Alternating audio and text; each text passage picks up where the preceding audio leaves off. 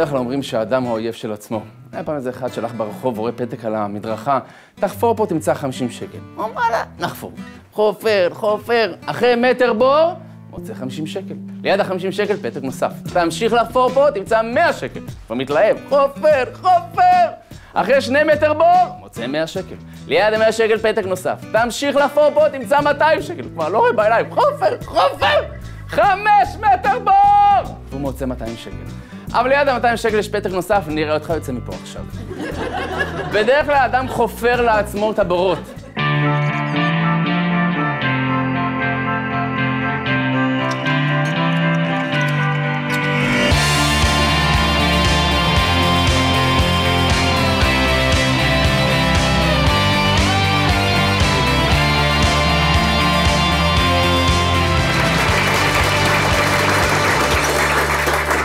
רבים לא יודעים, אך כמעט בכל יום מקבלים אומנים פניות מגופים שונים או מאנשים פרטיים המבקשים את עזרתם. מבקשה להתנדב לערבי התרמה גדולים ועד הבקשה הכי אינטימית לשיר באופן פרטי שיר לאדם שזקוק לעידוד. רבות דובר על כוחה של השירה, לשנות את מצב רוחו של האדם, לגעת בו במקומות הכי פנימיים, לרגש ולעודד את רוחו. אך מאחורי כל שיר עומד בעצם אדם, אדם ששר אותו, אדם שמשמש כלי, כלי לשיר. ואותו אדם צריך למצוא כוחות נפש גדולים לפעמים. כי גם כאשר הוא טרוד בכל מיני עניינים של החיים, בכל מיני טרדות, אה, כדי להבין את תפקידו, וכדי לפתוח את ליבו, וכדי לתת מעצמו, הוא צריך לעבוד על עצמו כמה שאפשר. בתוכניתנו היום אנחנו נארח אומן עם לב גדול ועם נתינה אמיתית. נדבר על האדם שמאחורי השירים, מאחורי הפרסום, מאחורי מה שנקרא עולם הזוהר. מאוחר יותר אנחנו נצפה ברב פנגר, שיצא לפגוש את דיירי בית השנטי, כדי להרגיש מקרוב קרוב ולהתקרב ולשמוע את אותם סיפורים באופן הכי אישי שאפשר. מה הדבר הכי חשוב שאתה יכול להגיד לי, זה לא רק ילד אחד, אלא זה... כולם. כן, חיבוק. מה? חיבוק פשוט? כן. הדבר שהיה הכי חסר לי בחיים זה אהבה. עברתי אה, ילדות אה, מאוד קשה, נטישה מאבא מאוד אה, קיצונית, חייתי ברחוב תקופה. כל מקום שיש בו חושך, תמיד יש בו. כל מקום. גבירותיי ורבותיי, אני רוצה להזמין חבר יקר יקר, ארכדי דוכין.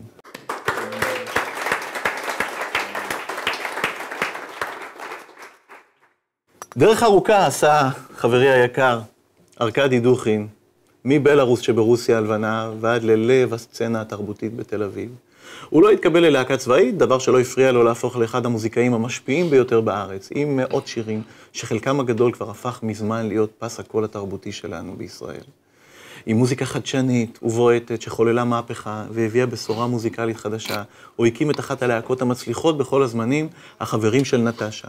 ומשם פרח לקריירת סולו משגשגת, כשבדרך כתב והפיק להיטים גדולים לטובי הזמרים בישראל, ביניהם ריטה, אריק איינשטיין, מאיר בנאי ועוד רבים ונפלאים. הוא כתב כל תואר אפשרי, זמר השנה, מחבר שיר השנה, אלבום השנה, ועוד הכל פתוח בעזרת השם. בשנים האחרונות הוא מעשיר את עולמו בלימוד תורה וקבלה. ארכדי היקר, שלום לך ותודה שבאת לתוכניתנו. שלום, תודה דוד שהזמנת אותי, כיף. קודם כל אני רוצה להתחיל במשהו. מאחוריך כאן הכנתי, הבאתי לך כמה חברים. אני יודע שאתה מאוד מאוד אוהב ומחובר לבעלי חיים. מאוד. בעיקר לתוכים. ומשיחות שלנו הבנתי שבאמת יש משהו בקשר הזה שבינך לבין, אה, לבין תוכי שעומד על כתפך, או שאתה מקרב אותו אל ליבך, שפותח לך עוד כמה מקומות פנימיים. מה, תספר לנו קצת על הקשר הזה. קשר לחיות הוא בלתי מוסבר. תשמע, קיבלתי את התוכי ממך פעם במתנה, וזה זה, זה קשר, אתה יודע, הם קצת מדברים, אבל לא באמת כן. לעניין. זה קשר ללא מילים, אתה מרגיש חום, אתה מרגיש אה, רגש, אה, אתה מרגיש גם תלות, זו חיה מאוד מאוד אה, רוצה אותך, תלותית בך. ומה, עצם העובדה שהם אה, למעשה מבקשים אותך או זקוקים לך בכלל בשביל לחיות, היא, היא זו שיוצרת את ה... היא, היא זו שבונה את הקשר? אני חושב שהכי קרוב לרוחניות בתוכנית, כי אנחנו באזור רוחני, היא מוציאה אותך קצת מעצמך. היא מזכירה לך שיש עוד עולם. היא גורמת לך לדאוג למישהו אחר, בעצם לה. לה. ו- ו- ו- וזה פחות כואב, כי כשאתה דואג רק לעצמך, אז אה, הכאב הוא הרבה יותר גדול מ... מלצאת ל- לאחרים. אז חיות זה דבר מצוין אה, למי ששקוע בעצמו. היו לך בעלי חיים אה, בעצם גם מ- מילדותך, אני זוכר שסיפרת על אותו צריף בבלארוס שבו נולדת, הראת לנו אפילו כן, תמונות כן. שלו. וגידלת שם ארנבות ותרנגולות, כמדומני, נכון? אה, כן, אנחנו, זה מין כזה עיר כפר, אפשר להגיד יותר כפר מעיר, וגדלנו, אתה יודע, מוקפים ב... מוקפים. וחיות בית. היו להקות של כלבים שרצו ברחובות כמו, כמעט כמו זאבים, אה, מפחידים כאלה. עם מנהיג, אתה יודע, היה להם כן, מנהיג. ממש עדר. ממש עדר. ואיך איך פתאום המעבר הזה מאותו מקום כפרי עם אה, בעלי חיים ללב... אני הגעתי. בגיל 15, גיל התבגרות, שזה גיל כואב. כואב כי אתה כבר נקשר, גם אם זה לדבר לא כל כך טוב, כי בדיעבד רוסיה באותה תקופה, והילדות שלי, זה לא היה איזה להיט גדול. אז, אבל באותו רגע כששולפים אותך מזה, אתה מרגיש כאילו לוקחים ממך משהו מאוד מאוד יקר. למזלי, אני היום אומר, הצילו אותי, בעצם שני ההורים הוציאו אותי ממקום אה, די, די נורא. היה לך משהו שאתה זוכר במיוחד כאיזשהו קושי בילדות, כמשהו שהשפיע על...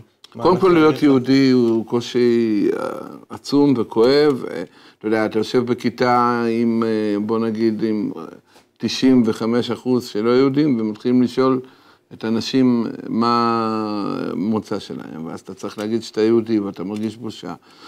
מה שהציל אותי במצבים האלה זה הרבה פעמים מוזיקה, כי מוזיקה בעצם ריככה את האלימות סביבי, אבל... אה, הייתה אלימות מאוד גדולה, גם אלימות ליהודים ומכות, ולא היה קל להיות יהודי ברוסיה. כן, כן.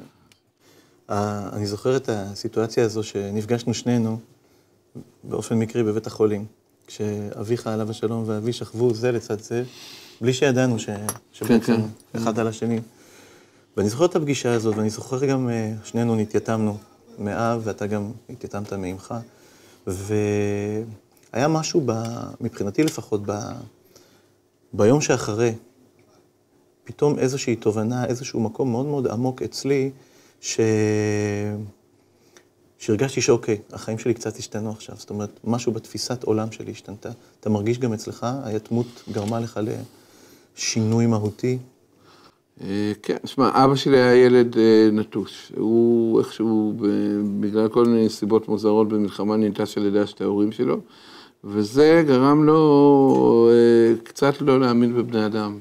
קצת הרבה, זאת אומרת, הוא פשוט לא האמין שמישהו באמת אכפת לו ממנו.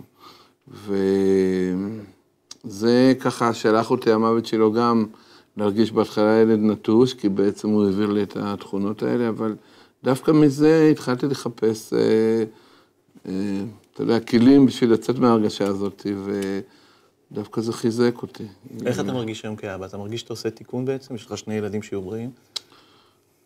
אני, אתה יודע, מהצד יגידו, אני מרגיש שאני עושה את כל המאמצים אה, לעשות את מה שאבא שלי היה, היה לו קשה. החל מחיבוק, דרך, אה, אתה יודע, לשחק עם ילדים.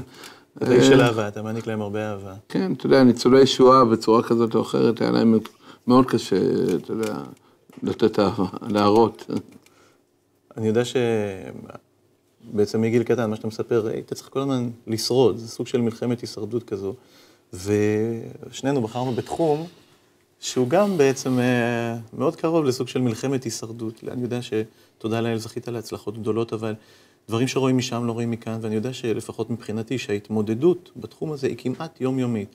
לשמור ולעשות וליצור ולהמשיך. איך אתה, איך אתה מתמודד בחיי היום-יום עם ההישרדות הזו? תראה, זו תקופה מאוד קשה. זו תקופה שמה שנקרא, האמת זה לא מצרך אה, כל כך נחוץ אה, בתחום האומנות. זאת אומרת, הרבה דברים הם שטחיים, הרבה דברים הם פלסטיים, ואם אתה רוצה לעשות משהו אמיתי, אתה בעצם אה, מרגיש קצת עוף מוזר. מרגיש קצת לא בתוך החבר'ה.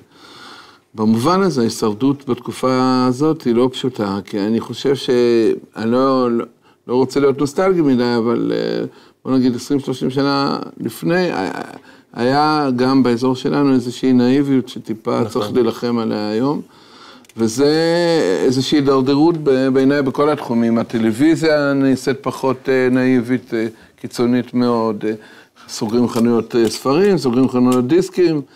אתה יודע, משהו קורה, משהו קורה, וזו תקופה לדעתי בוערת ומפחידה, שצריך לעשות משהו. אתה מרגיש שהלימודים בעצם נותנים לך איזה שהם כלים להתמודד עם, ה, עם התקופה הזו, עם, ה, עם הדברים האלה שתיארת כרגע?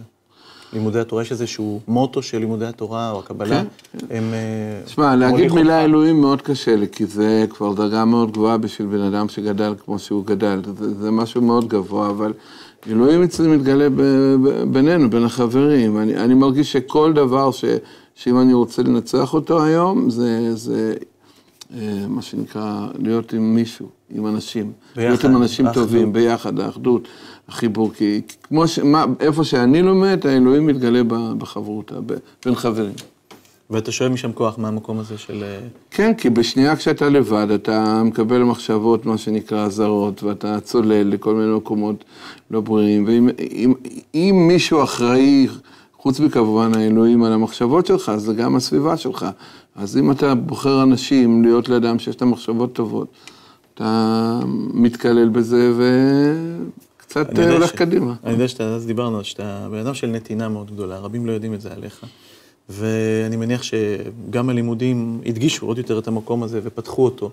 הנתינה אצלך היא אה, בעצם דרך חיים, ואני זוכר, לפני די הרבה שנים אפילו, שסיפרת לי שאתה נוסע לבית השאנטי כדי לבשל לאותם נערים ונערות, לא לשיר להם, לא לעשות להם מופעי התנדבות, לבשל להם, פשוט בפרקטיקה, לקום ולעשות דבר. ואני הרצתי אותך. אז על ה, בכלל ההתגייסות הזאת ועל, ה, ועל הרצון לקום ולעשות מעשה במו ידיך.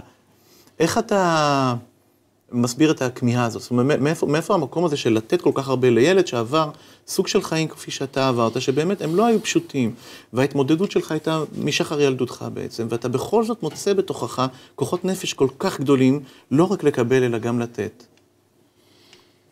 אה, בדיעבד, אה, זה גם מאוד סקרן אותי לפגוש אנשים, ילדים כאלה, כי הייתי אולי קצת כמוהם, קצת אה, בילדות ככה, לא בגלל שההורים שלי רצו את זה, אבל ככה החיים הובילו אותם. אה, גם אני מאוד אוהב לבשל, והרגשתי שלא סתם בחרתי דווקא בזה, כי אני הרגשתי שאני יודע לעשות את זה. והמשימה שם לא פשוטה, כי זה בעצם ממה שיש לעשות אוכל. לא, לא תמיד יש בדיוק מה שצריך בשביל. אוכל. אז uh, הדבר הזה... קיבלת אה, תגובות מהילדים? זאת אומרת, הם, הם התלהבו מהבישולים שלך? הם... מאוד, אם כי אתה יודע שהם ילדים גם שמאוד קשה להם, קפואים ועוברים כל מיני מצבים, אבל באופן היותר עמוק והפלצפי, אתה יודע, בכל נתינה יש איזושהי תענוג של אה, קבלה. ברור. זה גם ש- סוג של אגואיזם, אבל אגואיזם קצת יותר מתוקן. ראית ביניהם את הילד שארקדי היה פעם? הצלחת לזהות בין, ב- אצל חלק מהם ניואנסים שדומים ל... כן, אה, זה ילדים שמאוד קרובים לאומנות, ילדים שמאוד אוהבים לצייר, לכתוב, אה, נורא רוצים לבטא את הכאב שלהם דרך אה, שירים וכל מיני סוגים של אומנות. בחרת לשיר שיר על אגו. כן. אגו קצה הוא נקרא. כן. ספר לנו קצת מה, מאיפה הוא נכתב, מאיזה מקומות. אה, אגו זה כל מה שאנחנו, ככה אני לפחות אה, לומד, וזה רע, וזה טוב. אה, זה טוב כי אנחנו בזכות האגו גם משיגים המון דברים טובים, וזה לא טוב כי אנחנו הרבה פעמים את כל מה שאנחנו משיגים משאירים רק לעצמנו.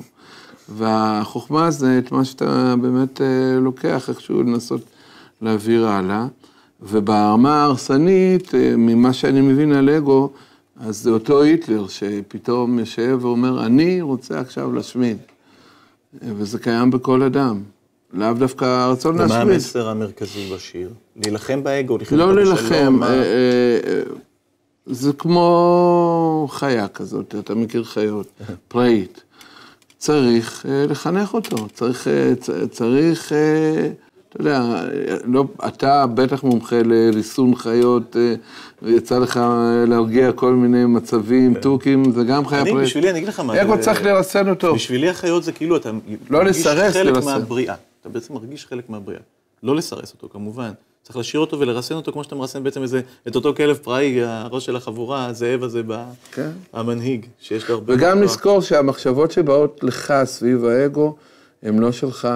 אם אתה עוד פעם עם אנשים נכונים, הם מסתדרים. ואלה דברים, מה שאתה מספר לי עכשיו, אלה דברים שבעצם אתה מרגיש שזה לימודי הקבלה אה, אה, החכימו, כן? תשמע, אני בגלל הילדות הלא פשוטה שלי, בלי להיכנס אין לנו יותר מדי זמן לפרטים, כל החיים חיפשתי.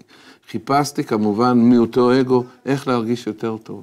ואז הלכתי לפה, והלכתי לשם, והלכתי לטיפול פסיכולוגי, שגם על גבול מסוים עזר לי, אפילו בזכות זה אני מרגיש שקניתי בית והכרתי את אשתי. אבל בשלב מסוים הרגשתי שחסר לי עוד, והתחלתי לחפש משהו סביב רוחניות. בודהיזם, זה, זה שיטוטים, אינטרנט, פה, שם. והתבייתתי במה שנקרא שם, באזור הקבלה, כרגע זה הכי פחות מאיים עליי שם במובן ה... כנס עם כל ההפרעות שלך, קודם כל בוא תבוא, ולאט לאט מקבלים אותך כמו שאתה. כן, כן. ואתה בימים האחרונים, הבנתי, חזרת להופיע עם הלהקה האגדית, החברים של נטשה. נכון. מגיע להם מחיאות כפיים לחברים של נטשה. איך, מה, אחרי כל כך הרבה שנים. זה, זה הכי הרבה אגו, להקה, אתה יודע, להקות ענקיות כמו ביטלס, שהמציאו מוזיקה בעיניי בכלל, לא היינו קיימים עם מה שאנחנו כותבים בלי ביטלס. זה הם אה, בעצם אה, קבוצות שבזכות האגו הגדול בנו המון, בזכות אותו האגו הרסו בעיקר אה, את הקשר ביניהם, וזה, ההתמודדות עם להקה זה אגו. באת. שונה ללהקה הפעם, אחרי, בזכות הלימודים, בזכות באמת אה, אה, שירים כמו השיר שכתבת, אגו קצה. אתה מרגיש שעכשיו אתה שונה בלהקה? אני מרגיש שאני רוצה להיות שונה. אני, להגיד לך שאני כבר כזה טהור, אני משתדל קצת יותר לסתום את הפה, אני אוהב אותך. קצת יותר לסתום את הפה, קצת יותר להקשיב לאחרים. תרבות ההקשבה זה לא משהו שהתברכתי איתו, לאט לאט אני לומד להקשיב. ו... אז יותר קל עכשיו, יותר קל מה? אתה מרגיש שיותר קל עכשיו בלהקה מאשר היה בתחילת הדרך? יותר קל, ומצד שני גם יותר קשה, כי בהתחלת הדרך הייתה האש הזאת שאני רוצה לכבוש ולהשיג, שזה גם דרייב מצוין לכתוב שירים. וזה קצת עוד חסר לנו, את ההתלהבות ל- אה, אני לכבוש. בטוח, אני בטוח שהקהל לא שם לב לזה ושהוא מתלהב. לא, אני יודע על אנשים שהיו כן. בהופעה והם יצאו מגדרם, זאת אחת ההופעות הכי הכי יפות שהיו אי פעם בארצנו. ואני מאוד סקרן לשמוע את השיר שלך על האגו, אגו קצה. ארכדי דוכין, גבירותיי ורבותיי.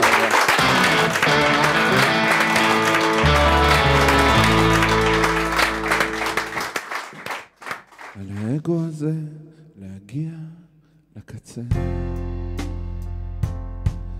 עד שלא יהיה לו כבר לאן להימלט. עד שכל כך נזדקק כבר לתקנו. עד שממש כבר לא נוכל לשבת בתוכו. רק שנכיר את כל הרע. שמתבייש אל מול האור, רק שנרגיש שכל שינוי צורה כבר לא מוביל לשום דבר שטוב, נבין שאי אפשר לבד, רק ביחד. על האגו הזה להגיע לקצה, עד שלא יהיה לו כבר לאן להימלט. שכל כך נזדקק כבר לתקנו, עד שממש כבר לא נוכל לשבת בתוכו. רק שנכיר את כל הרע שמתבייש אל מול האור, רק שנרגיש שכל שינוי צורה כבר לא יוביל לשום דבר שטוב, נבין שאי אפשר לבד. רק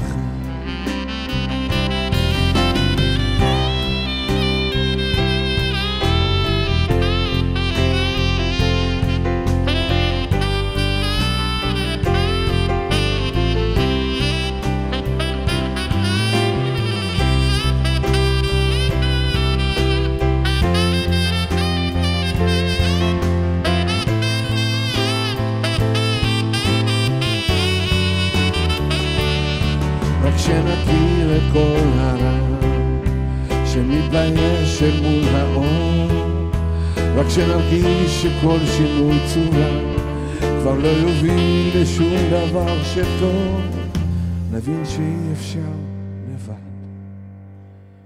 רק ביחד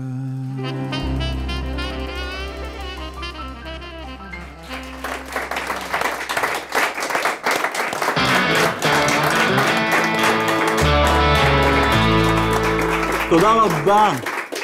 תודה רבה לארקדי על השיר המדהים. ארקדי, נגעת בליבנו עמוק עמוק עמוק. חזרנו בצוות אה, מורחב. חזרנו, כמו שאתם רואים, בצוות כל התוכים כבר עלינו. בכל שבוע הרב פנגר מבקר במקומות שונים, משוחח עם אנשים על משמעות החיים. הרב ישתף אותנו ברגשות, בתובנות שהיו לו, במפגש המיוחד שהיה לו עם אנשי המקום. אני מתכבד להזמין את ידידי, איש שאני אוהב ומעריך במיוחד, הרב פנגר, בבקשה. המשנה אומרת שיהיה מצב שאויבי איש אנשי ביתו. שהאדם הוא לא רק אוהב של עצמו, לפעמים, לפעמים ההורים שלו אפילו, במודע או לא במודע, חברים, סובבים, הם האויבים של האדם הזה. ילד שהוא נמצא, נקרא לו ילד בסיכון, ילד שמתמודד יום-יום, במקום עם חיבוק, עם סתירה, במקום עם לטיפה, בעיטה, התעללויות, דיכאונות, איך יוצאים מזה? אז אולי נקודה אחת ככה שנוכל להתחזק. אדם צריך להחליט מה הוא רוצה. זה כנגד זה עשה אלוקים. שמעתי פעם על שני תאומים, שזה בדרך כלל הדוגמה הכי קלאסית בפסיכולוגיה כדי לנסות לאבחן דבר מסוים. שני תאומים זהים. שניהם עברו טראומה מאוד קשה בחיים, וכל אחד פנה לדרך אחרת. אחד הפך להיות מטופל בבתי חולים, שחולי נפש הלוך חזור, הלוך חזור כל ימי חייו. השני הפך להיות אדם שנשכר בכלל לרחוב, סלב. מאוד מוצלח, פוליטיקאי, רציני, דומיננטי, אדם שמנהיג כביכול מטבעו. יום אחד ראיינו אותם ביום הולדת של שניהם. ראיינו אותם. שאלו את זה שבבית חולים, תגיד לי, איך הגעת למצב שלך? אז הוא ענה מה שהוא ענה. ושאלו את האח שלו, איך אתה הגעת למצב שלך? והוא ענה מה שהוא ענה. ומה שהם ענו, זו הייתה אותה תשובה. אם היית עובר מה שאני עברתי, אם היית רואה מה שאני ראיתי, היית נמצא באותו מצב. שאל אותו מראיין, מה ראית? השניהם סיפרו שהם ראו את אבא שלהם, לא אף פעם ישראל, סליחה שאני אומר לכם את זה, ראו את אבא שלהם רוצח את אימא שלהם מול העיניים שלהם בגיל שבע. אז אמר זה שבבית החולים לחולי נפש, אמר, אם אתה היית רואה מה שאני ראיתי, תבין שאין לך יותר במי להאמין. תבין שאתה יכול לסמוך על אף אחד. אם אבא שלך, הדבר הכי קרוב לך בעולם, רוצח את אימא שלך, אז נגמר העולם. נגמר העולם. אין על מי לסמוך, והחיים ברצפה. האח התאום, שהוא מוצלח מאוד, אמר אותו דבר. אם אתה היית רואה מה שאני ראיתי, שאבא שלך רוצח את אמא שלך, היית מבין שאין מי לסמוך, רק על עצמך, רק על בורא עולם. ואם אתה תיקח צרה ידיים, אז באמת אתה תגיע רחוק. וזה מה שעשיתי. כל אחד לקח את תוצאת סיטואציה למקום אחר לגמרי. וזו הבקשה שלנו בעצם לכל אחד שנמצא אי שם ועובר תקופה קשה. אז לדעת שיש אור בקצה המנהרה. ואני אומר לכם שהיה פעם איזה אדם שבאמת היה, עשה סטארט-אפ ושיר גדול, וואו! הוא גר בארצות הברית בניו יורק. בשלב מסוים מישהו עבד עליו, סידר אותו, נפל לכל מיני חובות אדירים, 500 אלף דולר חובות. מגיע לאיזה גן ציבורי בניו יורק, שבור לרסיסים, בוכה, בוכה, בוכה. ניגש אליו אדם זקן. אומר לו, למה אתה בוכה, ילד? אומר לו, למה אני בוכה? יש לי 500 אלף דולר חובות. אני גמור, לא להסתכל בפנים של אשתי, של הילדים שלי, אני אכזבתי את כולם. אומר לו, הזקן, אני רוצה לעזור לך. מוציא פנקס צ'קים, רושם לו 500 אלף דולר צ'ק, נותן לו את הצ'ק, חותם למטה ג'ון די רוקפלר, מיליונר, מיליארדר יותר נכון, נותן לו את הצ'ק ואומר לו, תקשיב טוב, אני לא מרחם עליך, זו לא צדקה, זו הלוואה. אני מאמין בך, צא לדרך. ההוא לא יודע איך להודות לזקן הזה, הוא מחבק אותו, מנשק אותו. הוא אומר, לא אשכח אותך בחיים שלי. אומר לזקן, בלי להתלהב, שנה הבאה, באותו יום, באותה שעה, באותו מקום. תחזיר לי את הכסף, בהצלחה. חיבוק, הוא יצא לדרך. עכשיו יש לו את הצ'ק ביד. הוא לא יודע מה הוא עושה. מצד אחד יכול ללכת לבנק, אה, להחזיר את כל החובות, לפרוט את הצ'ק, והשלום על ישראל, להתחיל ברגל ימין. הוא מחליט משהו אחר. בוא לפני שאני פורט את הצ'ק. הרי הזקן לא יהיה תמיד לידי. בוא נשים את הצ'ק בכספת, ננסה לבד. לוקח הלוואות נוספות, מתחיל להרים את העסק חזרה, משים מישהו חדש על העסק, איזה יועץ כזה, יועץ כזה, מתחיל להשקיע ולעבוד ולעבוד, והוא מצליח. לאט לאט מחזיר חובות, מרוויח עוד ומחזיר, מחזיר חובות ומרוויח, אבל הוא לא נוגע בצ'ק. הוא יכול לגעת מתי שהוא רוצה, יכול לפרוט טוב שלום על ישראל, אבל הוא לא רוצה. בוא ננסה לבד. והוא מחזיר, ועולה, ועולה, ועולה. הסתיימה השנה, והוא לא נגע בצ'ק. הוא לוקח את הצ'ק, חוזר לגן הציבורי, רואה את הזקן יושב שם. הוא ניגש ואומר, תודה, תודה, תודה. איך שהוא מחזיר לזקן את הצ'ק, אחות, מבית חולים ממול, שאנשים לא הכי הכי... רצה, תופס את הזקן, בוא לפה, משוגע, בוא לפה! עומד לצעיר, אני מקווה שלא נפלת בפח עם ה... הוא מדומיין שהוא איזה מיליארדר, מחלק צ'קים הזויים. אני מקווה שלא נפלת בפח עם האדם הזה. אמר הרב טוב, בחור, תראה מה זה. עצם האמונה שאני מסוגל, עצם ההרגשה שמישהו מאמין בי, נתנה לי כוח. ואני אומר לכם שיש בצד מגלובלים, אחד מגדולי המקובלים בדורות הקודמים, שכתב כך, כמו שאדם צריך להאמין בבורא עולם, צריך להאמין שבורא עולם מאמין בו. ואם אדם יאמין בעצמו, וידע שאלוקים מאמין בו, וידע שבסוף כל חושך יש אור, ואם נאמין, נצא מזה, אז אין ספק שאולי כבר אמרו לפניי, אם תרצו, אין זו אגדה. אה, אני בטובי. שלום, שלום, אין לי יד פנויה, אבל... אני כל כך שמח שאתה איתי כאן, כבוד הרב, שמחה גדולה, אנחנו צופים בך בבית, בהתרגשות, כל ערב. רעייתי, אני וילדיי, הוא מתלהבים, ואני יודע שגם אה, ארכדי וסימה צופים בך. אתה נכנסת לנו לבית, ונכנסת לנו ללב באמת, ואין לך מושג כמה אני נרגש שאנחנו כאן יחד הערב. למה? אני רוצה לשאול אותך שאלה, מה, מה מביא את כבוד הרב דווקא לבית השאנטי? עולמות שונים, מקומות אחרים, לכאורה, על פניו. מה לרב ולבית השאנטי? יצא לי פעם להיות אצל אחד הצדיקים של הדור. הוא אמר לי, אמרתי לו שאני לדבר עם נוער. אמר לי שהילדים האלה יגידו לך מה הניסיונות שלהם, ואז תגיד להם מי הם. אז לו, מה הכוונה? הוא אמר, יש לנו כלל בגמרא, כל הגדול מחברו, יצרו גדול הימנו. ככל שאדם יש לו יותר קשיים, יותר ניסיונות, אז מן הסתם הנשמה שלו הרבה יותר גבוהה. לשון הגמרא זה לפון גם לשכנע. לפי הכוח של הגמל, כך שמים עליו את המטען. אז אם ילד, יש עליו מטען כל כך גדול, כמו נער או ילד או ילדה בסיכון, אז מן הסתם הם כאלה גדולים, כאלה גיבורים, שהיה לי זכות להיפגש איתם. אז בואו נראה את הרב פנגר מבקר בבית השאנטי.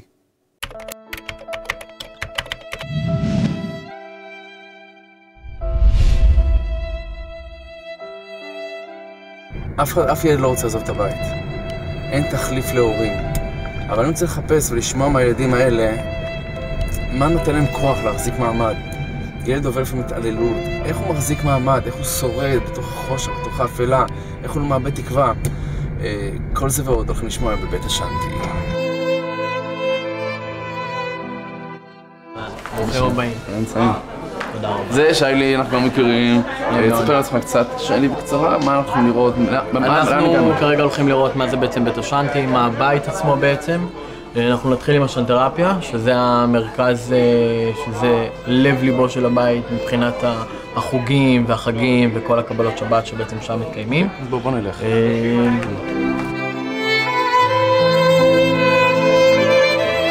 אותי זה מעניין שילד מגיע. אז מה הדבר הכי חשוב שהוא צריך בהתחלה שהוא מגיע? אחרי זה טיפול, עזרה, מה הדבר הכי חשוב שאתה יכול להגיד לי, זה לא רק ילד אחד, אלא זה... כולם, כן, חיבוק. מה? חיבוק פשוט? כן.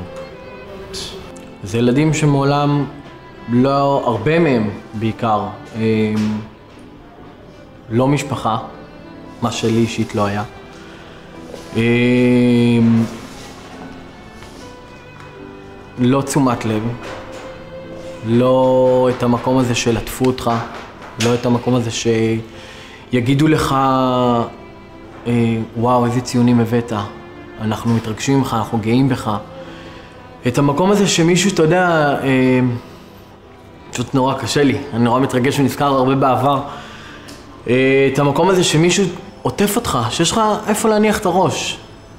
לי אישית לא היה את זה. ביום הראשון בחזרה שלי מהבית ספר מכיתה א', אני חטפתי מכות. אני... הכניסו אותי למקלחת, שפכו עליי מים חמים, ופציצו אותי עם מקל של מטאטא. אה, וזה מהמקום הזה של לא הבנתי מה רצו ממני בכיתה א' בבית ספר. יש הרבה ילדים שהם בבית, שעוברים מה שאתה עברת, מה שילדים פה עברו. מהניסיון שלך ושל אחרים פה, מה אתה יכול להגיד להם כדי לשרוד, כדי להחזיק מעמד? משפט, לא יודע, יהיה טוב. מה, מה היית אומר, ש... אתה יודע שאם אתה היית שומע את זה אז, במצב שלך, אולי זה נותן לך כוחות. תראה, אה, כל מקום שיש בו חושך, תמיד יש בו. כל מקום.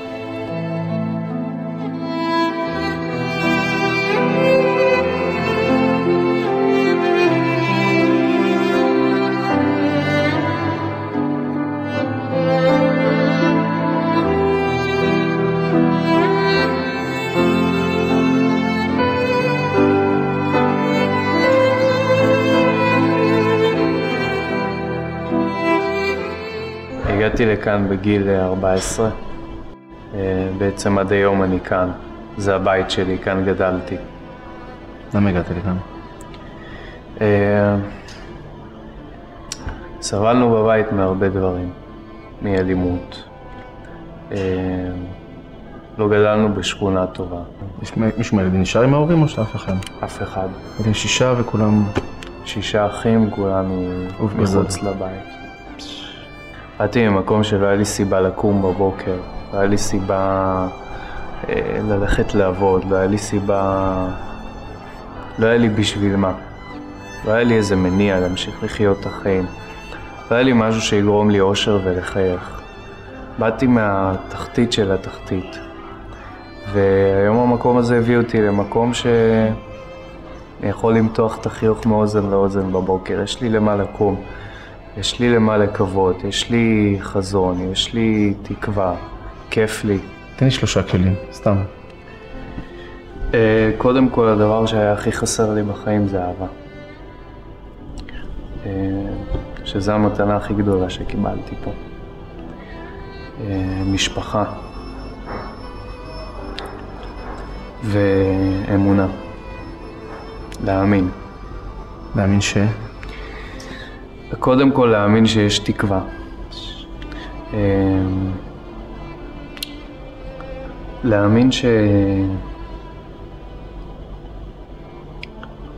שזה לא...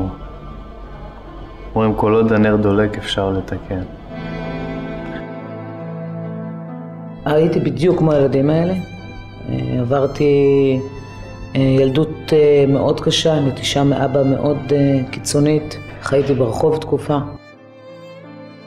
בגלל שהכרתי את הרחוב ואת ילדי הרחוב, כי הייתי חלק מהם בתקופה עוד לפני, פשוט פתחתי את הבית לארוחות של קבלות שבת. אבל בגיל 21-2 כבר ידעתי בוודאות שזה הייעוד שלי בחיים וזה השליחות שלי מלמעלה. לכל ילד סיכוי לפי דעתך? כל אחד יש לו סיכוי? רק מי שרוצה. אם הוא רוצה, וגם אם זה קשה, אין דבר עומד בפני הרצון. אבל לא כל אחד רוצה.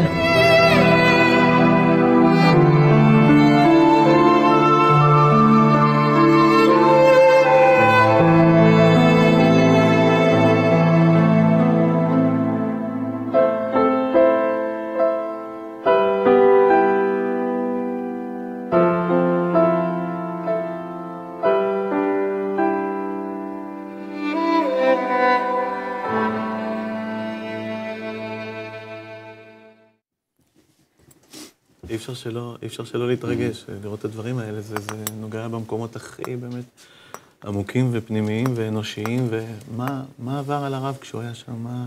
עברת, הרגשתי שאתה עובר איזשהו מסע מהכניסה, מהנסיעה הזאת באוטו, אני נוסע לבית השאנטי, ופתאום... הילדים הכנים האלה, מה זה? זה מפחיד. זה מפחיד כי כל אחד מאיתנו לפני או אחרי להיות אבא, והדברים הכי חשובים לנו בחיים זה הילדים שלנו הרי. ואני משוכנע שגם להורים שלהם, של הילדים האלה, זה הכי, הדבר הכי חשוב זה הרי הילדים. אז איך מגיעים למצב שאתה מאבד את הילד שלך? הבחור הזה שלומי. איזה חכם, איך הוא מתבטא. בחור שזה, תחשוב שישה ילדים. שישה ילדים, זה אחרי זה, עפים מה, מהבית. אז אני שואל אותו, תגיד לי אם אני אדבר עם ההורים שלך. דבר איתם. זה יעזור משהו? אני לא שייך. נו. איך, איך, איך, איך התורה, התורה מסבירה, הרי אהבת, אהבת הורה לבנו זה הדבר אולי הכי, הכי בסיסי, הכי, הכי, אתה יודע, לא, לא צריך ללמוד אותו. איך, איך, איך קורה דבר כזה? מה עושים כדי בכלל, שלא לא יקרו תופעות כאלה? איך... טוב, זו שאלה טובה. תראה, כל מקצוע בעולם לומדים. ברור שירה, למדתם ברמה כזו או אחרת, אדם ודאי שגם אם נולד עם כישרון טבעי, אבל הוא חייב להתמקצע. איפה למד להיות הורים? איך למד להיות אבא, איך למד להיות אימא? כמו שארכדי אמר, לפעמים הזהות של ההורים שלנו, כמה שהם ניסו להיות הכי טובים שבעולם, אבל לא תמיד היו דוגמה, וגם הדור שונה, והניסיונות שונים. אז איך, איך אנחנו עושים את זה? איך אנחנו באמת לא עושים את הטעויות שאו שההורים שלנו עשו, כי הרבה פעמים זה איזשהו דפוס חוזר, שאדם כן חוזר להתנהגות של ההורים שלו, איך אני שובר את השרשרת הזאת, ואיך אני נותן לילדים שלי מה שהם באמת צריכים. אז זה, זה ללמוד, ללמוד. דובר שם המון על אהבה, זה נדמה כאילו אהבה, ארכדי הוא פשוט מלך שירי אהבה בעיניי, הוא כותב את שירי האהבה הכי גדולים. זה נדמה כאילו זה הפתרון כמעט לכל דבר ולכל מצב. כל מה שהם ביקשו כל הזמן, ראית, זה, זה חזר על עצמו, חזר על עצמו העניין הזה של אני רוצה להיות, להרגיש נאהב. לא משנה, שמישהו יאהב אותי. מה, כ- כאדם ששירי אהבה הם אה, כל כך אה, חזקים ב... חזקים בו, מה, מה אתה אומר? תשמע, אני מדבר על, אה, אתה יודע, שאהבה זה מושג באמת אה, מטעה, אתה יודע, שירי אהבה הם יכולים להיות אה, פשוט סתם יפים, ולהגיע לדרגה מאוד גבוהה של אהבה באמת, זה אהבה באמת אה, לזולת, לצאת מעצמך. אני חושב שאני מסכים עם הרב, זה צריך ללמוד את זה, וללמוד זה קשור לחינוך. חינוך, אה, צריך ללמד גם את ההורים האלה, להיות הורים. אבל אהבה אתה לא יכול ללמד. אהבה זה משהו שבא לך. אני חושב אני שכן, אני זוכר חושב ביתי כשהיא נולדה, אתה יודע, אני... שהוא מה בא, זה, אף אחד לא חינוך אמר לי שהוא בא כל כך. ל- ואהבת לרעך כמוך, באמת, להסביר את זה בבית ספר כמו שצריך, במקום כוח המשיכה וכל מיני דברים שהם חשובים, נראה לי פחות מאהבה. הכל צריך להתחיל פשוט בחינוך. ללמד, אה, פשוט, מקצוע כזה, לדעתי אהבה. הכל מתחיל בחינוך. אני חושב שהקאדי אומר את זה נכון מאוד. כל אחד מאיתנו יש לו אהבה. אני חושב שכל אחד, גם האדם הכי קשה או קשוח בעולם, יש לו אהבה בפנים. השאלה איך הוא מגלה את האהבה הזאת, איך הוא חושף אותה, איך הוא נותן לאהבה הזאת לבוא לידי ביטוי ולהעביר את זה לילד שלו, שבאמת אוהב אותו. כל אבא שתשאל, גם אבא של הילד הזה, אתה אוהב את הבן שלך? בטח אוהב אותו, זה כל לא- החיים לא שלי. טיפה- לא טיפה נאיבי, כבוד הרב. משפט כזה לומר על ילד שדיבר כפי שהוא דיבר פה, אותו ילד שהכניסו אותו, לא משנה, לאמבטיה, לומר שאבא שלו כן אוהב אותו. אני, אני מניח שיהיו הצופים בבית שיבואו ויגידו, איזו מין אהבה זו? ככה אוהבים? אנחנו רוצים, עצמו אני, מה שאני מרגיש מיני פשוט זה שאנחנו, מצבים. מי שיושב מסביב לשולחן, ואני מניח גם בקהל, כל כך רוצים להאמין שהאהבה הזאת קיימת אצל כל אחד, שאין לנו אפילו אפשרות, הרי אדם לא יכול לראות משהו שלא קיים בו, אין לי בכלל אפשרות לדמיין. אה, מה, מה זה אומר, כאילו, לא לאהוב את בנך או את בתך? ותשמע, מסתבר מהסיפורים האלה שיש אנשים שהמקום הזה, גם אם הוא קיים, כפי שכבודו אומר, הוא מאוד מצומצם. הוא במקום כל כך מצומצם וכל כך אה, נסתר. תראה, זה לא פייר שאנחנו לא שומעים את ההורים, אבל uh, מן הסתם, ההורים ודאי אוהבים אותם. רק הורים עוברים תסכולים. ההורים מגיעים עצמם ממקום, אל תדון את חברך עד שתגיע למקומו. לפעמים הוא לא יודע איך לרסן את הבן שלו. הבן שלו מתחצף אליו, עושה לו מה שהוא רוצה, מה תעשה לי אבא, אתה מבין? מה, מה תעשה לו? אז הוא חסר אונים. אז הוא, הוא לא יודע מה לעשות, הוא אוהב אותו, ומתוך שהוא אוהב אותו, הוא, הוא כביכול מכה אותו. כביכול, אני אומר. כי הרי הוא לא מכיר ילד ברחוב, הוא לא אבא אלים שייכנס למשטרה עכשיו. הוא מכיר רק את הבן שלו. למה? כי הוא מרגיש יכול כאילו, אולי. אני רוצה שתהיה לך טוב, אני רוצה שתהיה מחונך, אני רוצה שלך יהיה מה שלי לא היה. אבל הוא מביע, מביע את זה בצורה הכי נוראית שבעולם. אז לא בהכרח שאין לו אהבה. אני שומע שאם אני, אתן לך דוגמה אחת, כן? היה איזה בחור שהוא היה במרכז טיפולי, שבעה חודשים, בעקבות כזה דבר. לפני שהוא השתחרר, התקשר אליו ה- לאבא, המנחה שלו. שואל את האבא, יש לי שתי שאלות לשאול אותך, הבן שלך חוזר הביתה אחרי שבעה חודשים שלא ראית אותו. שתי שאלות. שאלה ראשונה, מתי הפעם האחרונה ראית את הבן שלך בוכה? אז האבא התלוצץ, אמר, "אה, בברית. אמר לו המנחה חמוד שאתה לא מעודכן. אתה לא מעודכן. מתי הפעם האחרונה חיבקת את הבן שלך? אומר לו בערך מה שהקאדי אמר על אבא שלו. הוא אמר לו, תראה, אני גדלתי מגיל עשר ברחוב, אמר. מאבא שלי, חוץ ממכות, לא קיבלתי שום דבר. מי שלא קיבל אהבה לא מסוגל להעניק אהבה.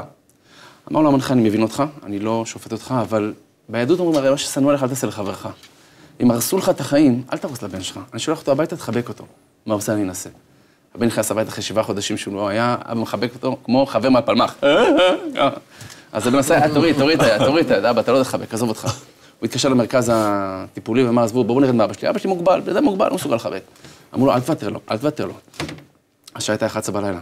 הבן הסתובב כמו פופר בבית, בסוף דופק בחדר של ההורים, אבא פותח את הדלת, אומר לו, מה אתה רוצה? נעמד, מול אבא שלו, אמר לו, אבא, תחבק אותי, תחבק אותי. אבא בעת רצון כזאת, חיבק אותו, באמת חיבק אותו. אז הבן חיבק אותו חזרה, ושניהם התחילו לבכות. מהבכי הזה דיברו ארבע שעות, עד הבוקר. ואחרי זה הוא אמר שאם הוא היה מקבל את החיבוק הזה לפני כן, כל המצב שלו לא היה מידרדר. אז האבא לא ידע, תבוא, אני, תגיד להורים עכשיו, תחבקו את הילדים שלכם. איך אני אעשה את זה, אתה מבין? מה? קושי. זה קשה, זה קשה, אנחנו, כל אחד עובר קושי. אנחנו הרי לא בוחרים איזו משפחה להיוולד. מה המשמעות באמת, יש משמעות קבלית לעניין הזה של המשפחה שאליה אתה נולד, הבחירה הזאת שלפעמים באמת נשמה טהורה נולדת להורים שמקשים את חייה. כן, נגיד את זה בשני מובנים. מצד אחד, חז"ל אומרים שהכל בידי שמיים חוץ מיראת שמיים. זאת אומרת, כל מה שאתה קורא איתך, הגמרא אומרת ש-40 יום לפני יצירת הוולד, כבר מכריזים, אה, יהיה חכם, או יהיה אה, טיפש, יהיה עשיר, יהיה עני, יהיה בריא, יהיה חולה, הכל הכל נקבע לו מראש. חוץ מדבר אחד, צדיק או רשע לא נקבע לו. זאת אומרת, הבחירה. כשאנחנו דיברנו עם ריומה, שזאת שבעצם הקימה את בית השנטי, היא אמרה שהדבר החשוב ביותר לילד שהוא נמצא במצוקה כזאת, זה לרצות ולהשתנות. לרצות ולשנות. לא להיות הקורבן, לא להרגיש, טוב, זה אני, הרסו לי את החיים, אני גמור, אני כבר לא אצליח, ממש לא. לדעת שאם אלוקים שם אותך שמה, אז להבדיל זה כמו שעכשיו, אני יודע, אני שולח מישהו מסיירת מטכ"ל לעשות איזושהי פעולה עכשיו בעורף האויב. אני שולח אותך לשם, תאמין בעצמך שלא סתם שלחתי אותך לשם, האלוקים לא עושה טעויות. ברור שלמה דווקא בחר אותי, זה שאלות שלא נוכל לדעת אף פעם, אבל אם האלוקים שם אותך שמה, אתה מסוגל להוציא משם, בוא נגיד ככה הכי פשוט, מר יומה. היא לא הייתה בונה את בית השנתי אם היא לא הייתה במקום כזה. תמנף את זה. ולתקן, פשוט לתקן את מה... הנה, דיברנו על תיקון, אז אה, התוכי מתחיל אה, לנופף בכנפיים. אז זאת אומרת שהכל עניין של פרספקטיבה בעצם. הכל איך שאנחנו, זאת אומרת, כילד קשה לנו לראות את ה... אתה יודע, אנחנו נפגעים וכואבים, אז קשה לנו. אבל ככל שמתבגרים, אפשר לראות גם בנתיב כזה קשה כל כך, לראות בזה איזושהי אה, אפשרות שטמונה בכך. בהחלט. להתפתח. ולהיות טוב יותר, איזושהי שליחות. אני אגיד לך מה שהארי הקדוש כותב, ככה בקצרה, אה, לפעמים יש נשמה מאוד גבוהה, שרוצה לרדת לעולם. וכל הכוחות הדין, הסטרא אחא, מאוד מתקנאים בה, לא רק שלא תרד, מפחדים ממנה. ואז הקדוש ברוך הוא עושה כביכול תרגיל. הוא אומר, אני אוריד על משפחה אה, מוכת גורל כזאת, משפחה מכה, משפחה מסכנה. ואז סטרא אחא אומר, טוב, למשפחה הזאת שתוריד אותה, גם כאן אין לו סיכוי. תשלח אותו לשם, יהיה בסדר. ואז הקדוש ברוך הוא דווקא מוריד את הנשמה הגבוהה הזאת לתוך כביכול הביב הזה, לתוך הביוב הזה, כי שם אף אחד לא יחשוד שהוא יצא ממנו משהו. ודווקא שם הוא צומח, צומח, צומח, עד שהוא פורח ויכול להיות תהום. אה, מדהים. זה מוביל אותי לשיר שארכדי כתב, ושאני מאוד מאוד אשמח לשיר איתך אותו ביחד. שיר נקרא ישר אל, והוא מדבר בעצם על אה, על דברים שדיברנו עליהם הערב כאן, על המערכת יחסים שבין עם ישראל לבין הקדוש ברוך הוא, ועל כך שכולנו בעצם נבראנו כאחד גדול. ישר אל? יאללה, בהצלחה. תודה.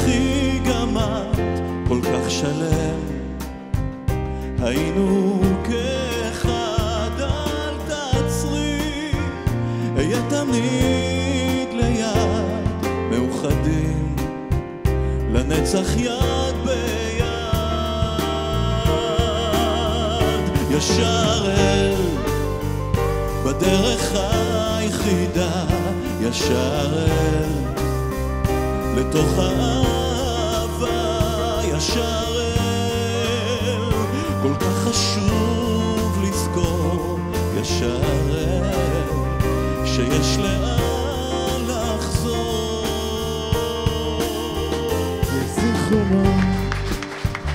שלא כדאי לשמור, ולפעמים יהיו סופות של כה, אבל נמשיך. אין טעם לעצור בלב אחד, ובכיוון האור בבוא היום, נחצה את המחסום, גם את רואה. שזה כבר לא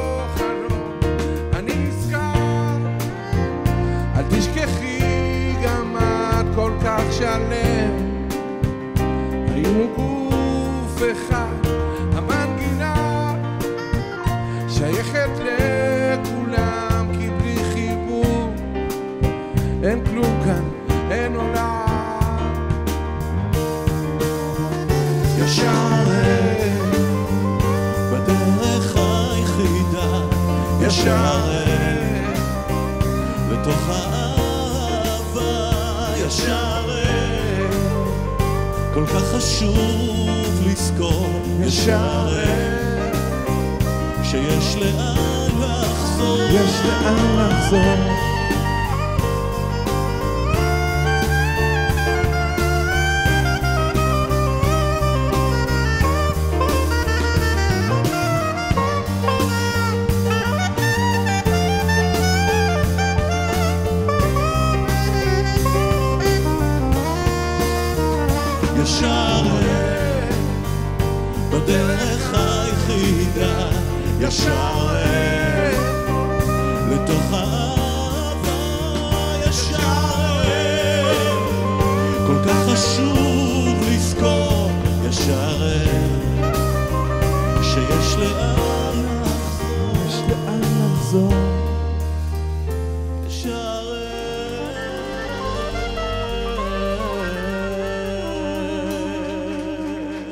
רבה לכם, קהל הצופים בבית, ולכם, קהל יקר באולפן. נתראה בשבוע הבא. להתראות. ארכדי דוכין דוד האור.